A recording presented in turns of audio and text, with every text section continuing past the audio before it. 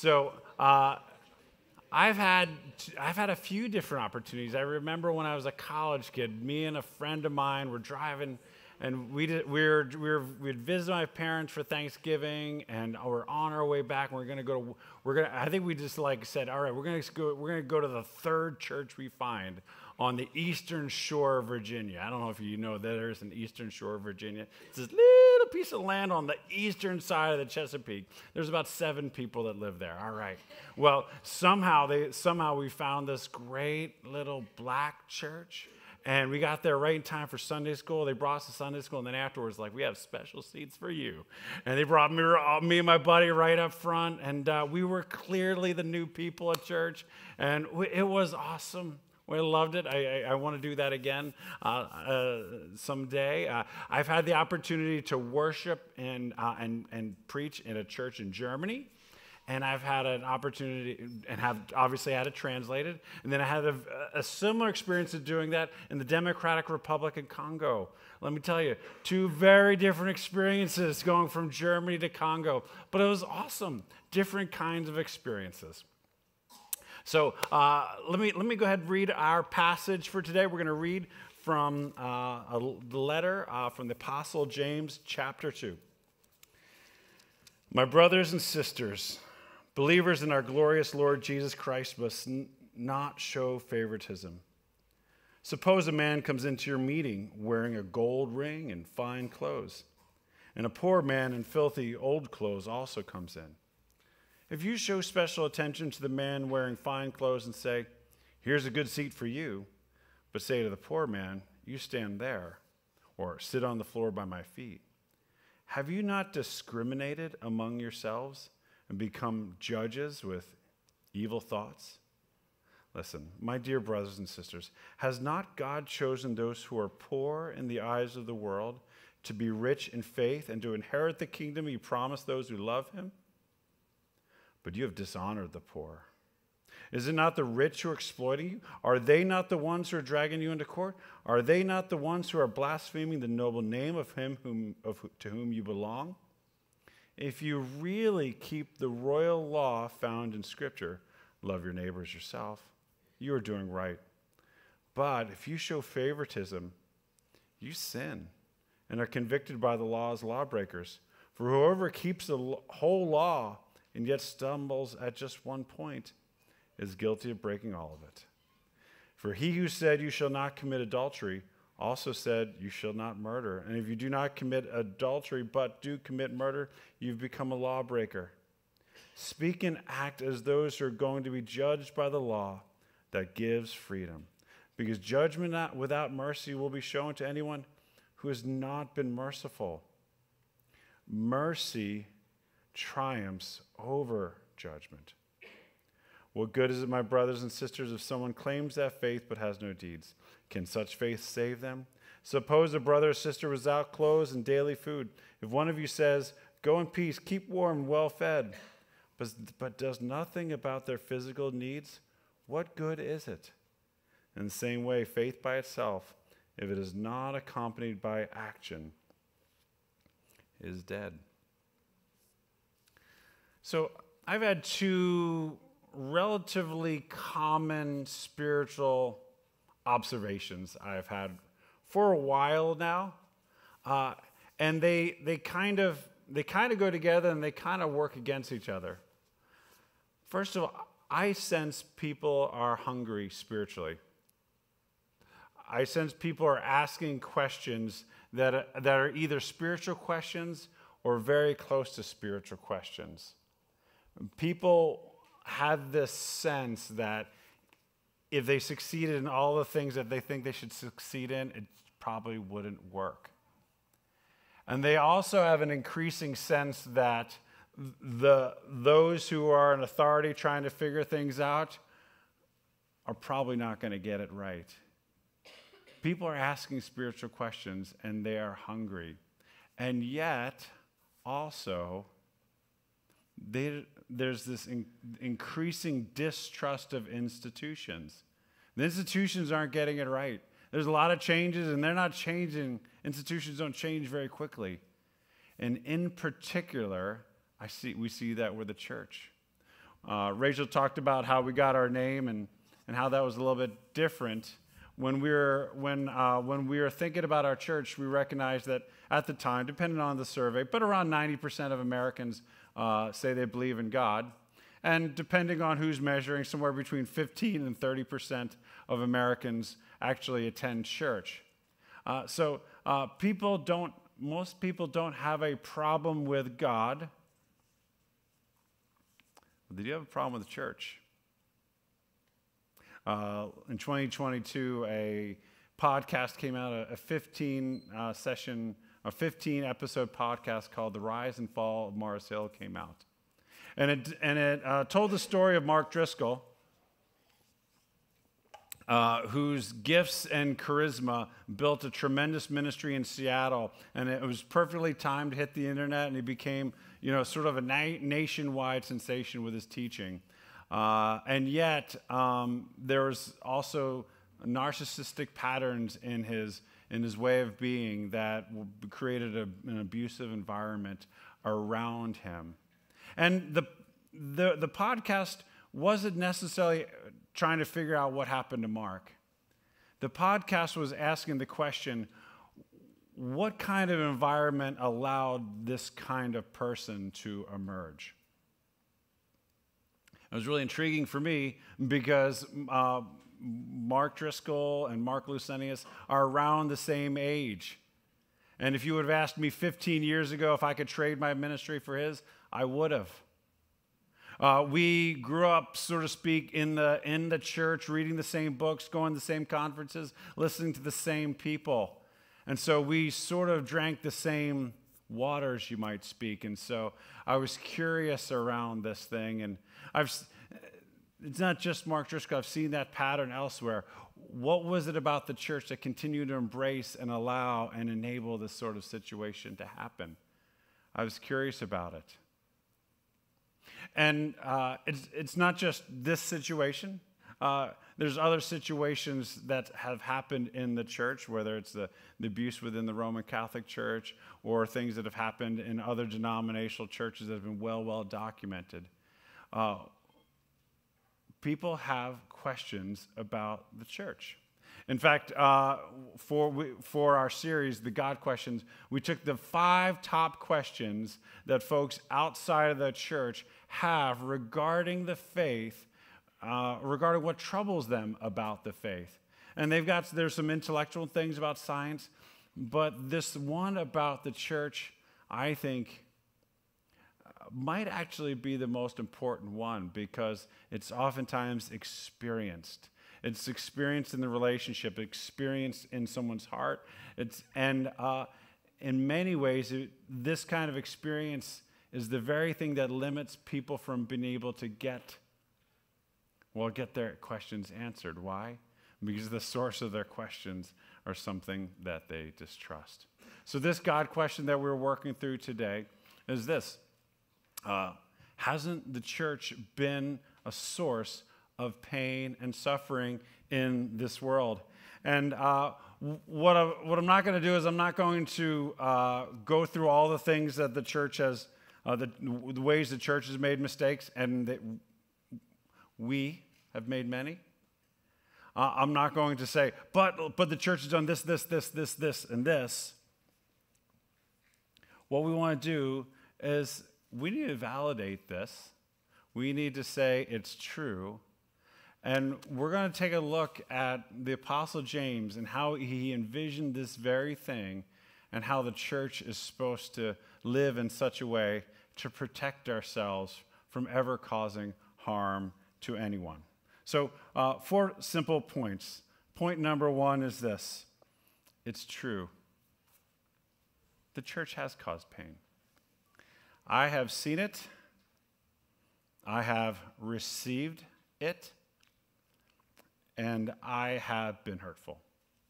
Uh, whether it's the thing I wish I wouldn't have said as someone in authority, or, the, the, or that, that uh, structure within the church that I perpetuated that was good at this moment, but I kept it going even though it wasn't helping and actually hurting. I've been a part of it, and it is true. This passage gives us, in some ways, a beautifully simple case study. He's imagining a, a, church gathering, maybe something very similar to this, with probably much less comfortable chairs uh, in the first century.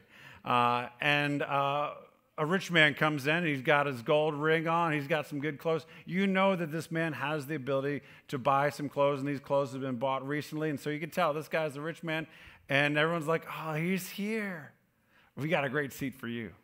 And then clearly, somebody who is not so rich, or uh, a poor man who's got some dirty clothes, and he doesn't get the good seat. And James says, Oh, brothers and sisters, this can't be. This is clearly favoritism.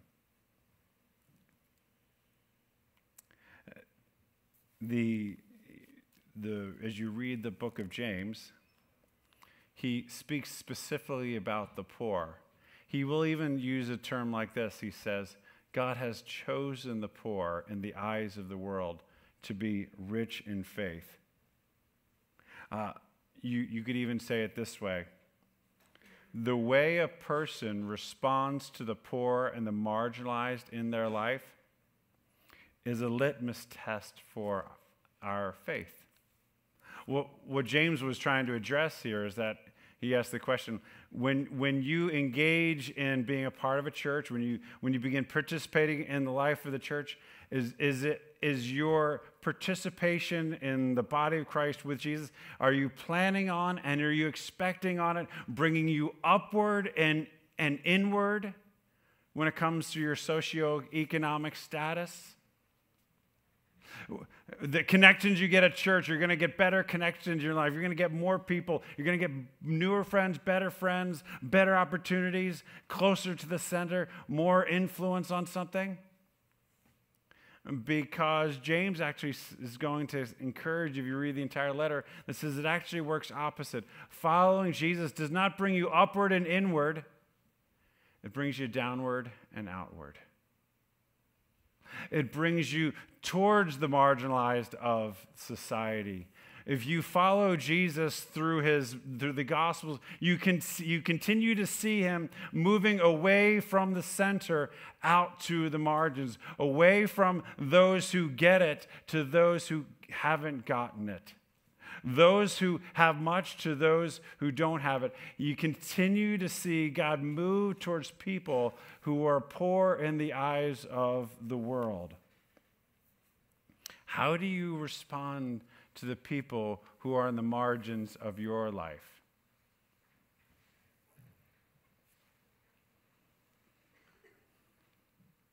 Is it, are you, is, do you have a natural inclination to maybe avoid the social outsider? the financial outsider, or maybe even the, the emotional outsider, right? This, pa- this passage says, Has not God chosen the poor? This is a really strong statement. This is a really strong statement. Uh, now, communists came in and they made a whole big thing about this. It's not that, okay? but it's in our poverty that we experience the richness of our faith. And why, what does this mean that God has chosen the poor? Well, He empowers the poor. Let's just, just imagine somebody is poor. Uh, they're generally not invited into things.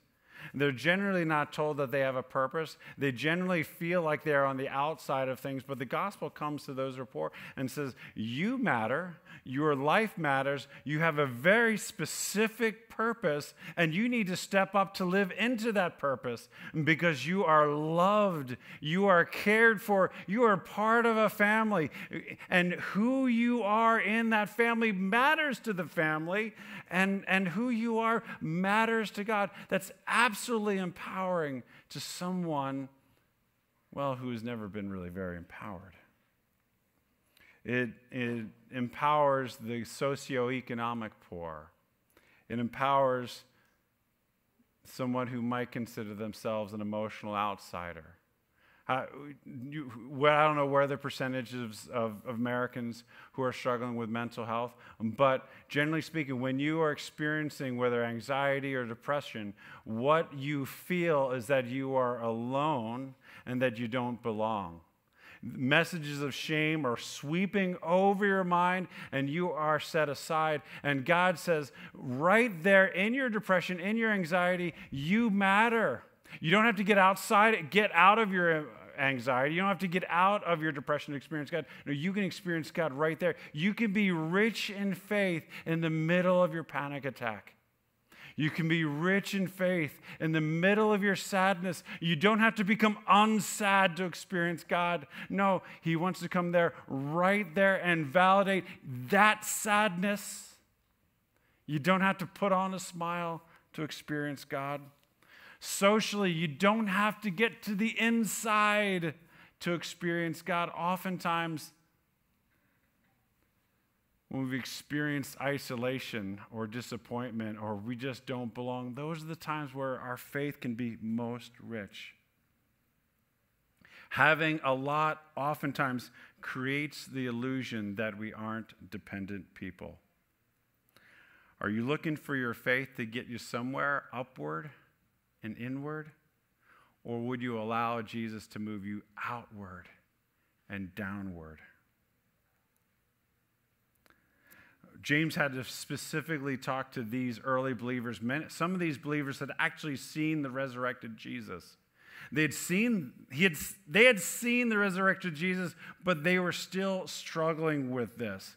Uh, he defined this issue, and the heart of this issue is this it's favoritism. It's, it's valuing certain people over others. And listen to the way he describes it. This is, this, is, this is pretty strong. He says this He says, Look,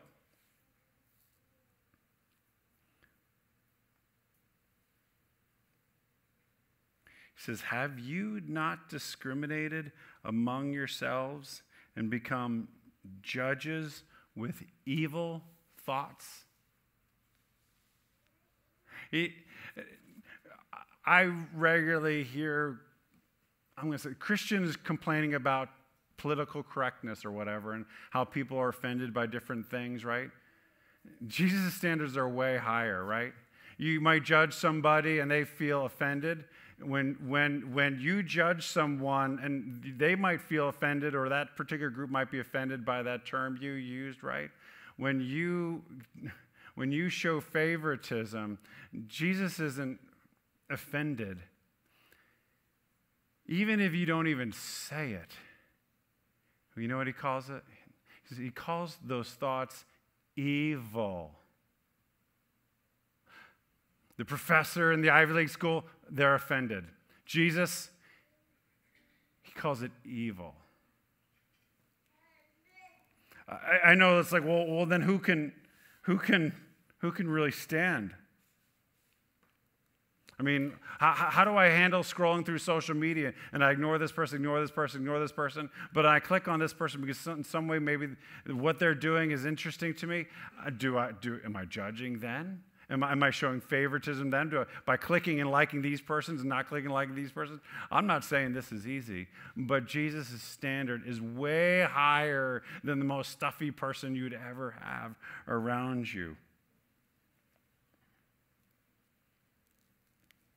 But here's the thing it takes one person, just one time of feeling judged in church, to say, that's okay. I, that's why I figured I can get judged anywhere else. I can go to Twitter and get judged there. I don't need to come to, I don't need to get up, get in a car, drive to church, and then go find myself excluded somewhere there. As a church, we, we try to, we have deep value on creating safe, transforming missional environments. It's our strategy. We believe that every space, anytime we gather people, it needs to be a judgment free zone. Uh, doesn't mean we don't challenge people, it doesn't mean we don't uh, to call people to something better. But we don't need to judge people. Uh, it needs to be a safe place. Uh, in fact, we have to grow slower because we can't just let anybody get into leadership. We need to make sure people are ready to handle that kind of uh, responsibility to care for others. It takes a person just one time, though, of being judged before they say, You keep church, I'm just going to hold on to Jesus. And that's the third point here. It's personal, but it's not personal. Uh, one of the things I think that has just kind of happened and this is, this is natural. When everything changes really quickly, institutions oftentimes struggle to fail. They struggle to change. Institutions are built to keep things consistent, right? When all, the entire culture changes quickly, quickly, quickly, institutions struggle to keep up. And oftentimes, when they struggle to keep up and things change and different people come in, that's when the judgment begins occurring. And what happens is people say, you know what? I really like the Jesus part of Christianity, but if, if you can keep the church to yourself, that'll just feel better to me because I like the Jesus side of it. The difficulty doesn't work that way. When you become united to Christ, you become united to Him, you become united to His family. And because being united to Jesus, it's a package deal. You get, you get His brothers and sisters with you. Let's just say, uh, let's just say me and you and my wife, let's just say Kathleen and I went to uh, uh, lunch with you at some point in time. If, you, if we were to sit there and talk and you would only talk to me and you'd only make eye contact with me, that would really bother me. This is my wife. We're like, this, like she's here too, and she really matters to me. The church is the bride of Christ to say, I want Jesus, but like you can keep your wife to yourself, that's it's kind of deeply offensive. If I did that with you and, and, uh, and, and you wanted to introduce me to your family member and I kind of ignored them, and I said, Why, well, they don't matter, I like you, that doesn't work for you. Jesus is deeply relational when it comes to the church. A lot of times, what happens is uh, our world is filled with this, this, the myth of the epic romance that there's this person that I'm going to meet someday that's going to meet all my needs. And that's going to be amazing. Then we're going to get married, we're going to fall in love, and I will never feel lonely, insignificant, or inadequate ever again. And uh, it keeps a lot of people from getting married because, well, it's a myth. But they didn't get that on their own, our, our world is filled with advertising, filled with the epic solution that's going to fix all of your issues, whether it's the medication or whether it's that new diet or whether it's these new clothes or new style of clothes or this new thing or this vacation. All these things are going to bring the epic solution to those epic problems. And we keep buying in because it'd be really nice to have an epic solution. But what ends up happening is uh, we, we bring that to our church, and we're looking for that church filled with good looking people that validate my pain, that agree with me on everything, and, that, and then uh, and, and lead me on interesting adventures that are really quite convenient for me that fit into my schedule. And we, and we wonder why we don't find it, and we find church to be so disappointing because it's not what happened to all the good looking people, right? I, we can't, you know, we, we wonder, we, we're disappointed.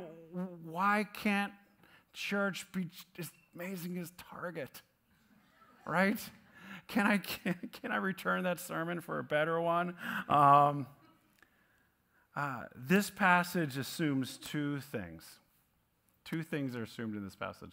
The first one is this everyone knows the royal law Uh, we call it, maybe everyone knows the gold rule but everyone knows that like central to following jesus is the royal law. Central to following jesus like the, like if you're to get jesus if you're to get jesus and you're really enjoy jesus if, if, if, if you're to understand the fundamental basis of christian spirituality you're to get this one thing that you're supposed to love one another as yourself and that's not just like loving your nuclear family, which actually didn't exist back then. It means loving the people who are different than you, loving the people in your church. Uh, the, other, the other assumption here is that churches were filled with rich people, middle class people, and poor people. Uh, in some ways, this passage was addressed to the middle class people. And a lot of early church history says that there's many ways middle class people is the one that built, built the church, right? And the assumption is that there's diverse people in life of the church. We know that there are people of different ethnicities. The church was very diverse in the early days, uh, socioeconomically and ethnically as well. And the way God's commands are supposed to work is that it's not like God is like some kindergarten teacher trying to get control of the classroom. One or another, right? No, he's like your CrossFit instructor. And he comes up to you and says, if you want to be strong, if you want to make progress, if you really want to make progress, here's what you need to do start loving other people. Start loving people who are different than you. Listen to them. Don't stop complaining about people. Stop complaining in, in general. Just don't complain. Complaining is going to kill your soul. Love other people. Learn to love people that are different than you. Uh, stop envying people that have more than you. Stop envying the people that have what you want to have. Start loving them and seeing what they don't have and adding to their life there. Stop avoiding the people that have less than you. See, how, see what you can do to add to their life. Listen to how they are rich in faith. How might you become rich in faith like them? If you want to become strong, if you want to make progress, if you really want to make progress, find someone who's different than you and start loving them. It, it's hard sometimes to figure out when you're sitting in seats that are like a theater and that it, it, it's really easy to turn church into a performance, right? You sit in seats, you enjoy the experience, and you, and you go home, right? But that's not what church was ever in the first century. It was never supposed to be that. It's an extended family. And part of being a part of that extended family is learning to love the people who are really, maybe really quite annoying to you and who just have these opinions that are like, where do they come up with these things? But if, if you can't love them, who's in your presence, how are you going to love God who's distant? You see these things happen in places like AA. And when I, if I talk to somebody who's an alcoholic, they get this immediately. Because if you go into an AA meeting, you see the rich, the poor, the down, the out, and the up and out. It's good for your soul, but it's also good for your life. You, you might have heard of uh, sort of a landmark kind of research paper that was put out about 50 years ago by a guy named Mark Granovetter. The, the, book, uh, the, the research was called The Strength of Weak Ties. And he's talking about relationships. Strong ties are those who are close friends and our family members that we like, right? The ones we keep close to us. And, and they give us support and they're with us in the everyday. Uh, we see them regularly and they, they deeply encourage us all the time. Mark Granovetter's thesis is that the most transformative person in your life is probably not somebody with strong ties, but somebody that you have a weak tie with. A weak tie is somebody, you know their name and you might know their occupation, but you don't know that much about them. You know them socially, and you just kind of know about their life. That's the person who's actually going to have much more uh, likelihood of bringing you a new idea, showing you a newer opportunity, or introduce you to somebody different. Those are the folks who have the greatest opportunity to, to open you up and get you to someplace you would never go on your own if you just stayed among the people with your strong ties. Every single one of us has something in our pocket that all it does is build strong ties around us. There's a, there's a whole bunch of really smart people writing algorithms so that every time you open your phone, it says, You're right, they're wrong, you're a victim. Here's how you can be better at being you, and you just don't have to change. It's those people who are the problem. The algorithms are writing out of your life weak ties.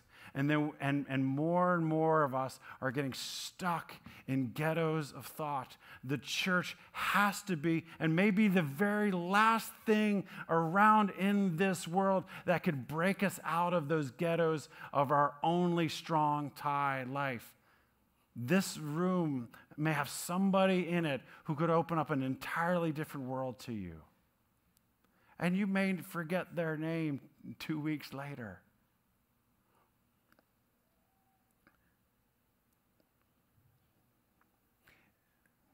Underneath the entire thing, uh, James connects the thing to favoritism's twin brother, judgment. Whenever there's judgment, we're tempted to draw the line. We draw a line between the churches. We like these churches, we don't like these churches. Between political parties. The one, uh, there's our party that has everything right on every single policy endeavor, and then there's the other party that's all wrong on every single one of their policy endeavors. We draw a line between us and our parents because of what they did to us. We draw a line between our spouses, right? Because, well, I'm getting it right and they're not getting it right. The line of good and evil line of good and evil is not the border between Israel and Gaza. The line between good and evil is not along denominational lines. The line between good and evil is not between political parties. The line between good and evil isn't between you and your spouse or between you and the spouse that you do not have yet. It's not the line between good and evil is not the line between you and your family member that you have beef with.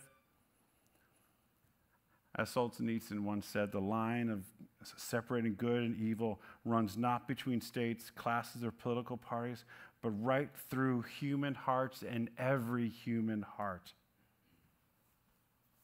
God doesn't win with judgment.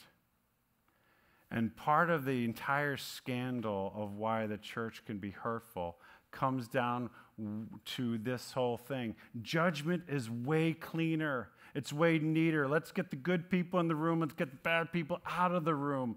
But the problem is who gets to be in the room if the line of good and evil runs straight through every human heart? God doesn't choose to win through swift judgment, He wins through mercy. And at the heart of this passage, you see James says, mercy triumphs over judgment.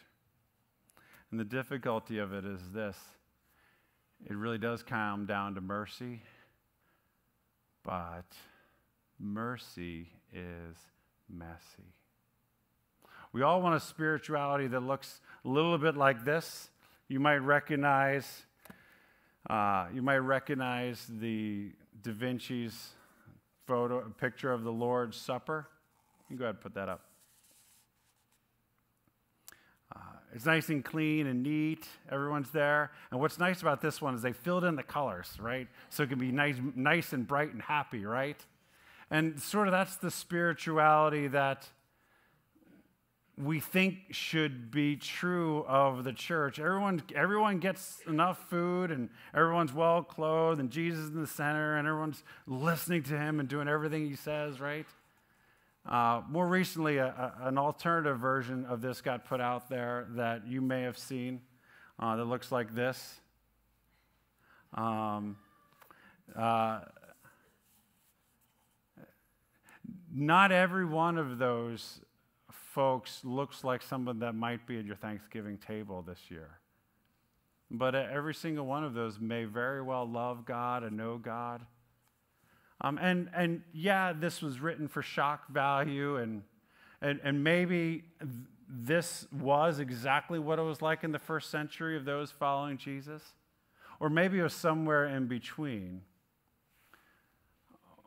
But what it highlights is, is that those who get to belong to Jesus aren't the ones who get it right. It's messy. All throughout the Bible, whether it was Abraham or Moses or David or Solomon or the exile or Jesus or the church, anytime there's a renewal within God's people, it's messy. You go out through history, anytime there's a renewal or a revival, it's almost always messy. Grace is messy. The gospel is messy. The gospel doesn't say, go clean yourself up and then come to God. The gospel doesn't say, get yourself out of the depression and then come and worship. The gospel doesn't say, once you're not anxious, then, then God will listen to you.